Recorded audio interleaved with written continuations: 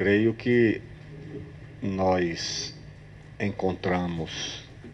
nesta visita no Estádio Nacional Mané Garrincha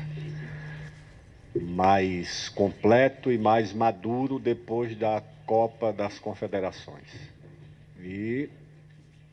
confirma-se a expectativa de que Brasília organizará uma Copa do Mundo à altura das expectativas do mundo e do Brasil. Como foi capaz de organizar a Copa das Confederações e como foi capaz esse estádio de receber em menos de um ano um público maior do que todo o público de sua história anterior à sua reinauguração. Creio que a reunião que nós realizamos na manhã de hoje confere a Brasília, ao Distrito Federal,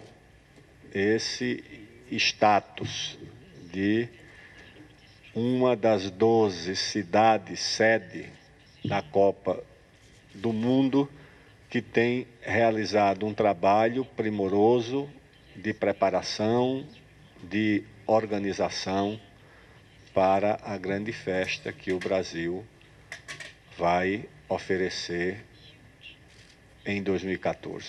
Então eu quero cumprimentar o governador Agnello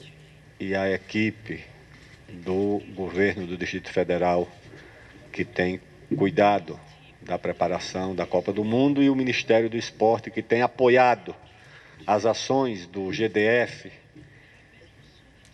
em vistas à preparação da Copa continuará oferecendo esse apoio porque é o compromisso não apenas com esse evento, mas principalmente com a capital do nosso país.